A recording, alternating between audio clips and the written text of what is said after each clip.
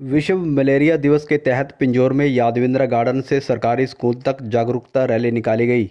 जिला स्वास्थ्य विभाग के दिशा निर्देशन में और अर्बन पॉलीक्लिनिक यूपीसी पिंजौर के एसएमओ डॉक्टर राजेश ख्यालिया के नेतृत्व में राजकीय वरिष्ठ माध्यमिक विद्यालय पिंजौर में एक जागरूकता रैली का आयोजन वर्ल्ड मलेरिया डे के उपलक्ष्य में किया गया था। इस मौके पर स्वास्थ्य निरीक्षक बलवंत सिंह के साथ साथ राजकीय वरिष्ठ माध्यमिक विद्यालय पिंजौर से यादविंद्रा गार्डन तक और जागरूकता रैली वापस स्कूल तक आई, जिसमें बच्चों ने स्लोगन नारों के साथ कि पानी ठहरेगा जहाँ, मच्छर पनपेगा वहाँ के साथ मेन मार्केट और लोगों को संदेश दिया। स्वास्थ्य निरीक्षक बलवंत सिंह ने राजकीय वरिष्ठ माध्यमिक विद्यालय के हज़ारों बच्चों को अपने संबोधन में कहा कि घरों के आसपास गंदा या साफ़ पानी खड़ा ना रहने दें, क्योंकि खड़े पानी में मच्छर पैदा होता है, जिससे लार्वा बनता है और मच्छर पनपता है।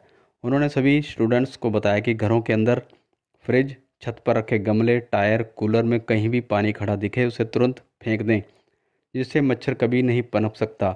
और डेंगू मलेरिया बुखार चिकनगुनिया जीका बुखार जैसी बीमारियाँ कभी हो नहीं सकती। मच्छर पनपेगा वहाँ। मच्छर पनपेगा वहाँ। नहीं नहीं। चाहे हमारा स्कूल है हमारा घर है हमारा आस पड़ोस है। हमने इस मच्छर को पैदा होने नहीं देना। उसका तरीका क्या है कि जो लार्वा पानी में पनपता है तो हमने पानी को कहीं पर भी खड़े होते हुए नहीं रहने देना है। हमने ठाना है?